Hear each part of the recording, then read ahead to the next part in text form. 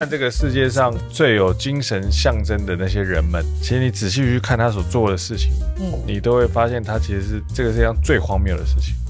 譬如说，你说 Kurt Cobain、Che Guevara、卡缪，其实你仔细去思考，他极其荒谬。你说他本人吗？我不知道他本人，因为我没有见过他。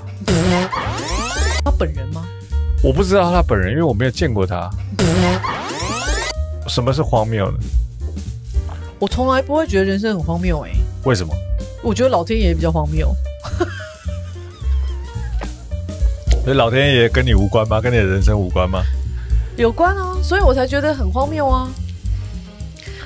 如果你会认为说你的剧本都是被安排好的，被谁安排好的，其实都是老天爷安排好的。老天爷怎么可以写出这种剧本呢？嗯，是不是？你有没有觉得他很荒谬？那什么编剧嘛？那前提是你认为有一个他在那里啊因为我是本身是有信仰的，我相信他的存在啊，啊，所以我常常觉得老天爷很荒谬。我的人生不荒谬，那老天爷比较荒谬。所以你相信他是一个荒谬的编剧。我觉得我不是相信，我觉得我就根本觉得他就是一个最荒谬的编剧。所以他应该酒喝蛮多的。我不知道，我觉得他要课不少。怎样？我我其实很好奇的一件事情是说，人生很荒谬，为什么人生很荒谬？我不知道啊，因为我觉得老天爷很荒谬，我没有觉得人生很荒谬。哦，所以这只是我一厢情愿的看法吗。我我我不知道，应该还是我这个其实是我一厢情愿的看法。可能你们你们不荒谬，其实我比较荒谬，荒谬的本质是什么？就不合乎逻辑嘛，不合乎常理吧？我不知道，还是你要查字典。那常理又是什么？常理就是你知道正常的逻辑，譬如说我叔叔他们就是他们就是家暴的家庭嘛，那你说打他或者打他一巴掌啊，那种家暴已经很严重了，对不对？那你常常会讲一句话：你哪鸡妈嘎给我出去，我卡了给你供灯，给你动灯，这样子。然后我阿进就真的出去了，然后他就真的拿菜刀去把我阿金的腿剁断。你觉得他真的砍了一，真的砍了一刀，真的什么一双腿，不是一只腿，是一双腿，哦砍了好几刀。他就直接从他膝盖以下一公分，就直接把他想要从他膝盖那边把它剁了，就像剁猪肉一样，就把它剁了。所以我婶婶就住院住了三个月，你觉得合理吗？离谱，是不是？然后我大伯母她的 脊椎那边装了不几支钢钉，为什么呢？因为我大伯他们是住透天厝，从二楼打他，打打打打打打到一楼不停手，就一直猛打，所以他从二楼滚下来，滚到一楼，一直被打，就这样。这个事件到底怎么了？不知道，反正我就觉得对我来说，到最后我就觉得老天爷真是太荒谬了。这个剧本为什么可以一直这样写写下去？所以你觉得是这个世间很荒谬，还是因为我们没有从来没有真正认识这个世界？我觉得我们可能真的从来没有认识过这个世界。会不会有一个原因是因为这个世界太大，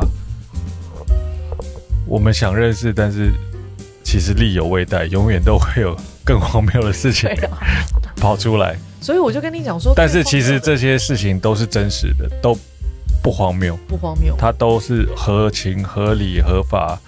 合法吗不？不不，或许不合法了，但是呃，就是某个程度上它是合于实际可能会发生的事情。就算它只有万分之一的几率，但它也是有可能的。只是我们会觉得说，哇，怎么可能会有这种事情？那也就是可能你看的还不够多，或者是这个世界太大。我常在想这一类的问题，到底为什么？或许这个世界是荒谬，或许这个世界是真实。那为什么我，或是我们会觉得这个世界很荒谬？这是我的问题。嗯，这我不晓得、我因为我真的觉得这个世界不荒谬，啊，你觉得这个世界很真实，我觉得这个世界很真实。发生的一切的事情都是合理的。不是不是叫做合理的，就是因为它真实，所以它多荒谬，在任何一个人眼里，它多荒谬，我都觉得它就是这么真实，人生就是这么真实的荒谬啊。嗯，但是你知道，以荒谬来说的话，你就会觉得说它不不太就是荒谬是什么意思呢？你觉得荒谬是什么意思呢？就是荒谬，在某在对我来说，它可能就是超出你生命经验的认知所能理解的范围之内，所以你会觉得它？太过于夸张，不合乎我认知的常理，所以你会觉得是。个人认知的常理嘛？那一切当然是个人认知的常理啊，因为没有所谓的这个世间认知的常理啊，一定是我认为的常理啊，不是吗？这个是啊，这个世界不就是我个人认知所建构出来的吗？我认为这个世界长什么样，它就长什么样子吗？不是不是应该是这样子吗？这个世界有这么多真理吗？不就是我认知的吗？非常棒。我想问，你现在在演哪一个角色？我我没有在演哪个角色，我只是 你在在演你自己吗？我在演我自己啊，真的吗？那你真的是这样想的吗？我真的是这样想的啊、那你真的很荒谬哎、啊，我很荒谬，对啊，为什么会变成检讨我呢？哦，对不起，今天怎么会？我很荒谬吗习？惯性的骂老公。啊，不，今天今天不是不是不是不是，怎么会变成我很荒谬呢？我这样想是是是有问题的吗？这个世间不就是我们自己在我们的脑袋里面所见所闻去幻想出来的一个世界吗？可能，可能。可是我总是是有理想世界啊，对啊，你的理想世界也是你的幻想啊。这都是幻想啊，我知道啊，我懂啊。但是我我的意思是说，因为你会认为那个荒谬嘛，啊，对啊，那我我会觉得那个东西是很正常的啊。那在正常的底下，我会希望有一个理想世界啊。嗯我们的基准点不太一样嗯嗯你你理解我的意思吗？我懂。对，我觉得所有的一切荒谬都是正常的。所以换句话说，就是这个世间的所有的荒谬，都是因为它都是你的幻想。哈？什么意思？就怎么会这这个世，就这个世间所有的荒谬，都是因为你对这个世界有太多的幻想。但你对这个世间有太多的幻想，并不阻碍你对这个世间有更多的理想。所以我就一直在想一件事情，就是说，你为什么会觉得这个世间是荒谬的？难道你不觉得你自己也很荒谬吗？嗯，我没有想过这件事情，就是因为你就是那个荒谬的存在啊。所以或许我会觉得这个世界很荒谬的原因，是因为其实我是最荒谬的那个人吗？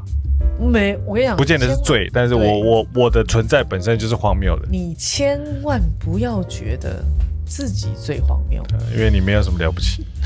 我跟你说，我都希望这个世界上所有的人不要觉得自己最荒谬，因为肯定有人荒谬过你。没有，我很想要成为那个最荒谬的人。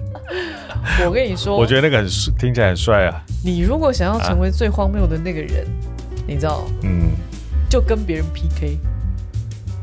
嗯，可是呢，你的别人是谁？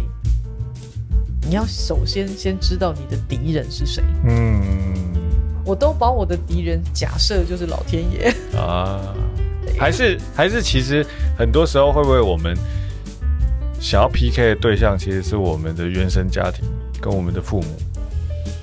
我没有这么觉得。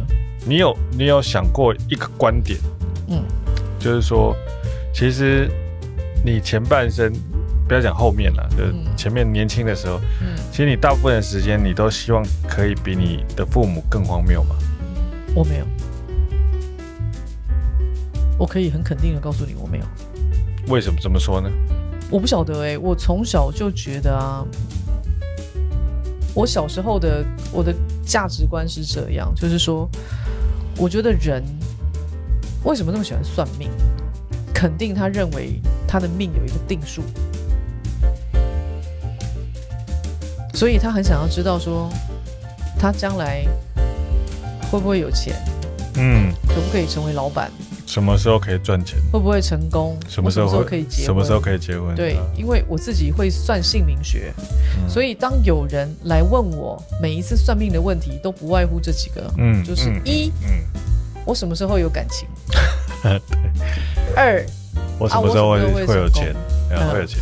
啊，我这一次的这个创业会不会成功？就是某种程度上，你其实已经知道说你的命是有定数的，嗯。所以你才会算命嘛，嗯，对不对？对啊，你希望别人告诉你吗？他你希望别人告诉你说一个肯定的答案，你会成功，你只是时间还没到而已。丢啊，不然就是你什么什么什么什么。那你知道我们这一派姓名学有很多的，就是上面会有很多人嘛，就是很多师兄啦、三内阿北啊，或者什么什么的，就是上面有很多人。那我有听过我们这一派有些人啊，他 他算命的算法是怎么算，你知道吗？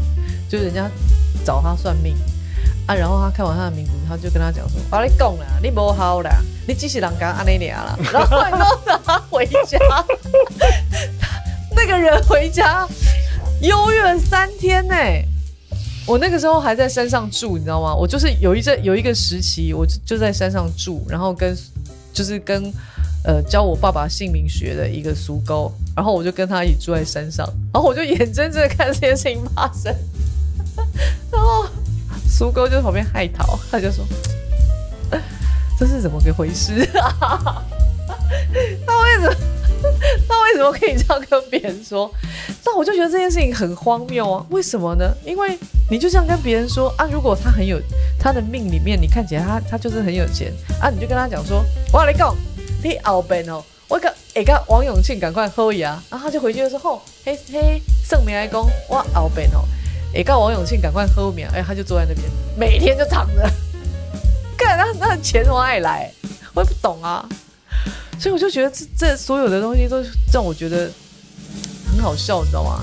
那个那个会不会 那个会不会其实只是一种压力测试？我不知道，就是他没有故故意我跟你讲制造一个极限的情境，让你去没有，感受。然后如果你是一个 OK 的，就是你是一个不服输的人，你就会想办法自己爬起来。No 如果你是一个弱者，你就会趴下去。No，然后不是啊他真的是只有这样而已，啊，他真的就这样，每一个来看 叫他帮他看姓名学算命的人，他都是用那种比较很斩钉截铁的方式去告诉你。啊，还是他的目的其实是为了要争取回头客，谁？我我问我就问，啊这哪里有回？不一定啊，会会不会他下次他会不会就被他骂完之后，然后他回去就日子过得很不好，是然后下次回来之后问说，哎、这个属下这个我要怎么处理怎么解决之类的。不是，哦，不是哦，真的、啊，我就不是，我就觉反正我就觉得这一切都很搞笑。那我我我刚刚要讲的东西是说，我因为小时候我就学，我就爸我爸爸就教我算姓名学这件事情，所以呢，对我来说，我每一次要对抗的那个敌人，其实都是看似就是有一个帮我安排好的那个命运，反正帮我写好那个编剧就是老天爷嘛。然后我每一次对抗的都是他，嗯，对我来说都是这样啊，嗯，就是就是是说，虽然你的命运已经被写好，但是你还是有改写剧本的可能。没有。我常常跟你讲说，我认份，呃，可是我绝对不认命。就是说你相信这个上天已经帮你写好了某一种剧本，但是你可以在这个剧本的大框架里面稍微做细微的修改。某种程度上是我不要做细微的修改，我要大幅的 修改，开玩笑的啦。没有，我的我的观念是这样，就是说我用正向的方向去想，就是如果他今天给了我考验，那是他看得起我，啊哈，我收，啊我看你能拿我怎么样。哈，啊，如果他给了我福分，那也是我应得的，嗯我也收，嗯，我不会摇贵给谁礼跟哦买了，不会客气啊，不会客气客气啊。然。后就是我也收，反正他今天给我的任何一切，我要当做他是合情合理，我照单全收，我正面迎击，因为我要跟你正面对抗，这 这样你理解我的意思吗？你给我什么我都收，我绝对没有含扣，我不会跟你靠腰，我不会跟你靠背。所以你觉得是他荒谬还是你荒谬？我就觉得他荒谬啊！我就一直跟你讲说，我就觉得最荒谬的就是他。你玩什么？你要玩什么？我跟你玩，我这辈子都跟你玩。你要怎么玩，我都跟你玩。所以你这个其实是赌徒的性格，没有啊？有就吗？有，因为赌徒都不相信赌场能够控制赌局啊。OK 啊，那也 OK 啊。我不觉得我是个赌徒啊，但你不觉得你刚刚讲的话，其实就是我是绝对不会说我是个赌徒，嗯可是我是人生最好的玩家，啊，不一样。我跟你讲，我跟你说那不一样，你不能这样子说。赌徒叫硬凹，你知道吗？但是我是人生最好的玩家。这件事本身就是一个很荒谬的事情。什么？哪里？哪里？哪里？哪里？什么什么意思？什么意思？我觉得，我觉得人类最有价值的存在，是就是在于不管这个世界怎么样？到底有多荒谬，是你永远想要成为最荒谬的那个。为什么你会有这种？我觉得这件事情才是最有价值的存在。我没有很理解，为什么我刚刚讲的那些东西你会有这种反应？我不理解啊，这跟我刚刚讲的是有关联性的，不知道我就有？有有有关联有关联，有关联真的吗？有关联，就是还就是有干联？有关联或有关联都可以啦。花干呢、就是就是，你去看这个世界上，目前你觉得什么？最有精神象征的那些人们，嗯其实你仔细去看他所做的事情，嗯你都会发现他其实是这个世界上最荒谬的事情。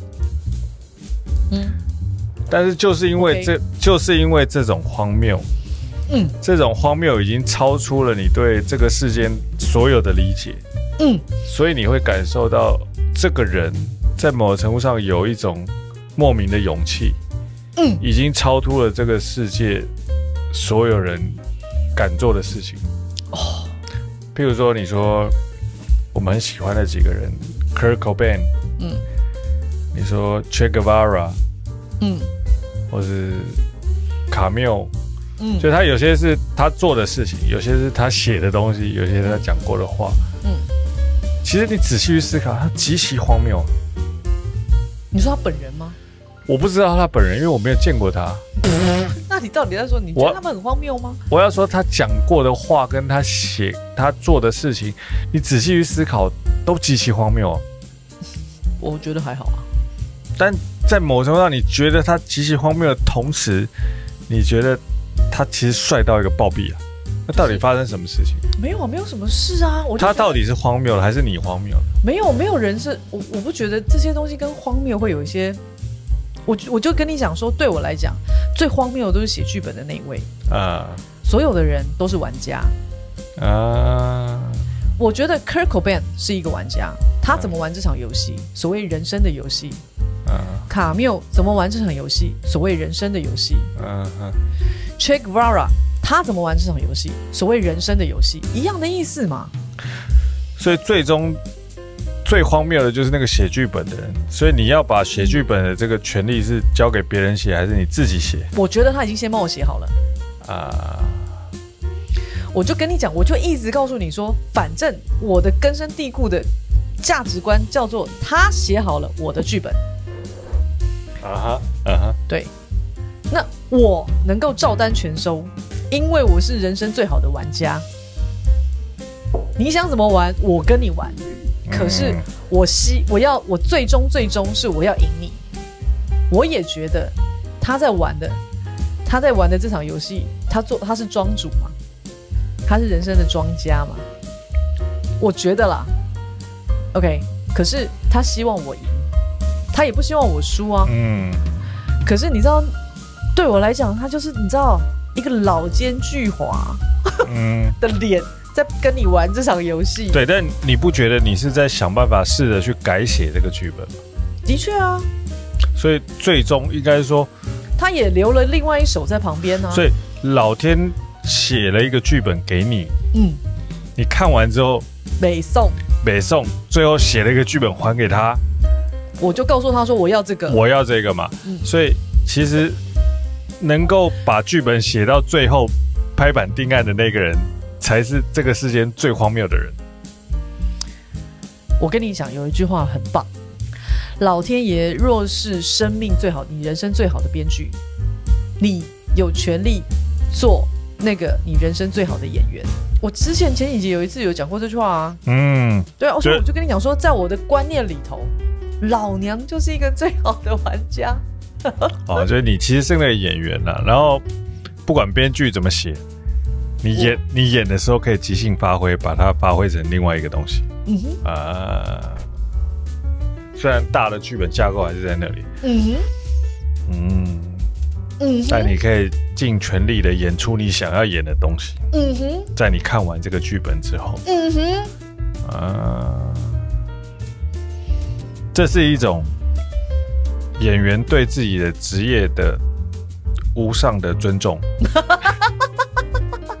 假设人要能够问心无愧的面对他之所以人身处在这个荒谬的环境，要能够极力的活出一个价值的时候，你必须要理解，剧本其实是写好的，但是你有办法在这个剧本里面演出你想要演出的角色，这才是厉害的。对，嗯，然后这个这个很有趣，这个这是一个这是一个很有趣的观点我都一直觉得我是个赌侠。啊，赌侠嘛赌，圣，赌侠是周润发，我是这个赌圣是刘德华啊，还有赌神啊，赌神是周润发，然后赌侠是刘德华，然后赌赌圣是周周周星驰，对啊，所以其实剧本是一样的，你要当周润发、刘德华还是周星驰是你的选择，嗯或是你要当吴孟吴孟达也是可以。我没有特异功能，所以我应该是赌侠。我看不到，我看不到，我看不到。哎，哦，这个很有趣哎，哦，所以我一直没有觉得人生很荒谬啊，我都觉得很正常啊，合情合理啊。因为他要出什么牌，你怎么知道？他庄家哎、难道是你说了算吗？是不是？嗯，所以其实其实老天爷并没有很任性，他没有，他只是很老奸巨猾。不应该说他任不任性是取决于在你有没有比他更任性。如果你比他更任性的话，他就没有很任性啊。我在你我在你身上有充分感受到这个 这一点，是吗？是吗？是吗？是吗？有有有，所以我一任性的时候，老天爷就惩罚我。不是你一任性的时候，老天爷就相形失色了。没有，我一任性的时候，老天爷会给我更大的考验，啊，因为他是庄家，庄家也不想输啊。对我那天看到不知道哪 哪一句话，不不知道是哪个哲学家写的一个，就是就是你绝对有权利任性的做你自己，嗯但是你绝对要付出相应的代价。嗯，呃，我相信这件事情。所以换句话说，就是你如果心脏够强的话，你没有在怕害怕付出相应的代价的话，你就可以任性的做你自己。对啊，我们之前不是都说我都心事肥沃了吗？很 大哥啊，心事肥沃啊，不是吗？所以再换个角度来看，就是说，你如果至今日为止你还没有办法任性做你自己，嗯，就表示你其实是个很胆小的人。你知道我弟前几天叫我帮他算一个名字，嗯然后我就说他三十五到四十五岁的时候很辛苦，嗯好看，真的。然后我就说，但是呢，你要知道一件事情，就是这个所有的辛苦，全部都是一种考验。嗯，这个考验是为了让他在四十五岁以后能够扛住更大的责任，所以他必须要去欣然的接住这前面这三十五到四十五岁这十年之间带给他的考验。像十年吗？对，十年。你必须要去试这些你眼前的那些困难啊，他是为了让你能力更好，所以我就说，我希我从小就期盼我可以赢得了他，所以我要成为那个最好的玩家，因为我厌恶他玩我嘛。不想被玩，我不想被玩嘛，所以我就希望我可以赢他，而我也相信他希望我可以赢他。嗯，我觉得这是一种态度了，对你，对你，我觉得这是一个对你荒谬的人生，假设它是一个事实的时候，嗯你可以对应的一个态度。那这个态度不见得可以引领你到更好的结论，但是它可以陪你度过更舒适的过程。就那过程其实是很不舒适的、啊，我觉得舒适不舒适不是这种客观条件看的我常常在心里面跟他对骂，呃。还来，我对我来说，对我来说，舒适不舒适是心理状态的舒适不舒适，不是舒适价值认为说哦有没有赚钱啊，有没有什么的。我跟你讲，我我我们像我们家啊，之前呢、每一年都会发生一件大事。嗯如果那一年没有发生一件大事，我就觉得怪怪的。嗯，一直到不知道哪一年，我心里想说：他妈的，我都快四十了，你还来？我说你来，你来来来来，你来你来！我真的在内心里面怒吼他，想说哇塞！然后从那一次以后，我就你知道在心里面演练他可能会写的什么剧本。这样然后就再也没有来。没有，我就在等，不是再也没有来，哦，我就在等，等到那个最大的那个，那这个，等等看，我觉得这个心情 等，等看会不会来。这个这个心情很像我们。